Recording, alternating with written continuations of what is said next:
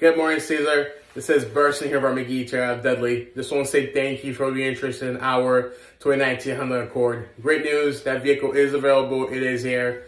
Uh, as I stated, it is a one-owner vehicle. Uh, it's a clean vehicle, a clean Carfax, no accident reported.